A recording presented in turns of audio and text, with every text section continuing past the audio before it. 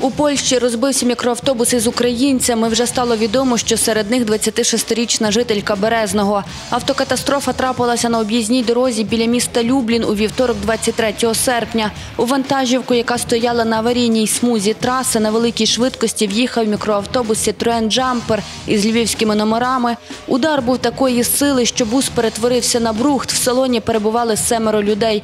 П'ятеро, в тому числі одна дитина, загинули на місці. Двоє вижили, їх госпіталізували до лікарні. Вантажівка теж була із українськими номерами. Її водій не постраждав.